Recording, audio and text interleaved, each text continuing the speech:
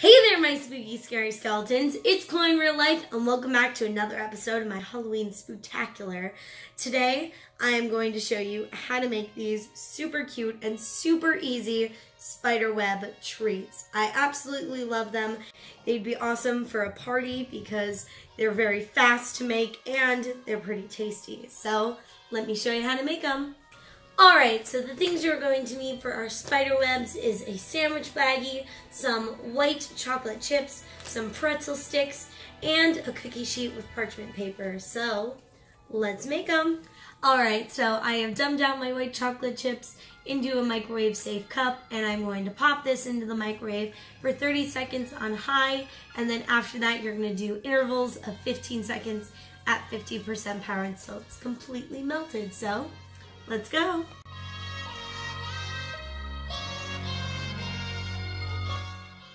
Alright, so now that my chocolate is totally melted, I'm just going to put my sandwich bag in here because it makes it so much easier to spoon in.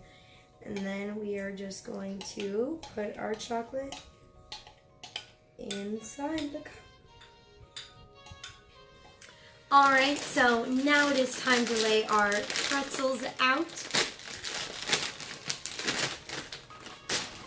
So I'm just going to take about five and we're just going to do two here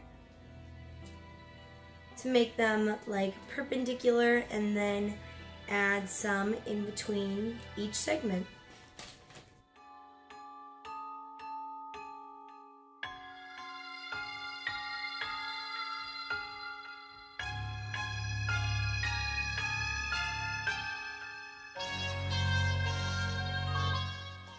Alright, so now we are going to cut our piping bag.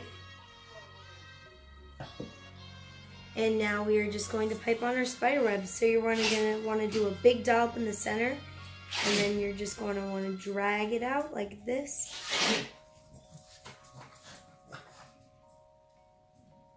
And just make a spiral shape.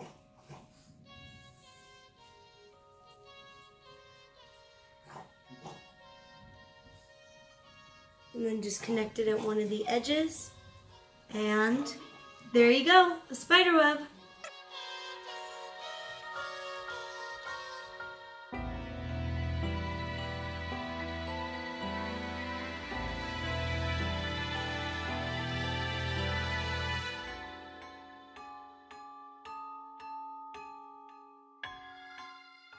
Alright, so now that my spider webs have been made, I'm going to pop them in the fridge for a little bit to let the chocolate harden, and so they will be all ready. Alright, so I had an idea while these were cooling that I could take black food coloring and a toothpick and paint on some little spiders. So I'm going to try these. These two have cooled, so I'm to try to paint on a spider.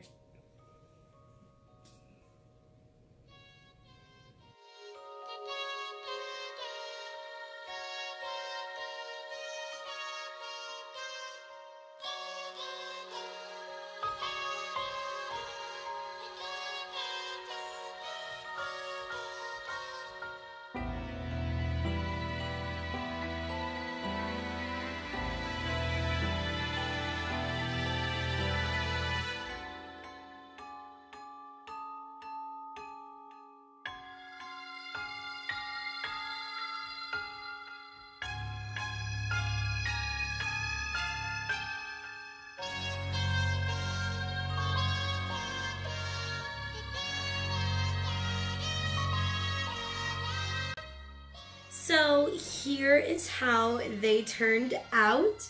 I absolutely love them. I think they're so cute. This is a great, great thing for younger kids in the kitchen because they are super simple and you don't necessarily have to draw the spider on. You could find little spider gummies or even maybe I think they sell spider sprinkles you can put on or you can use some fake spiders. You could get some edible markers and draw them on, which would be a lot easier than using a toothpick. Um, but I totally, totally love these, and they were so easy to make. Oh my gosh. This has probably been my favorite thing to make so far because it's been so easy. So if you enjoyed this video, don't leave a like, a comment, and don't forget to subscribe. And comment down below if you're scared of spiders. I'm a little bit scared. If it's a really big spider, I'm terrified. I am done if it's a big spider. But if it's just a little one, I think I'm alright. So don't forget to hit the notification bell so you are notified every time I upload a spooky video that's just like this one. And don't forget to follow me on Facebook, Twitter, and Instagram at ChloeNoelle910. And I will see you all in my next video. Don't forget to stay spooky. Bye!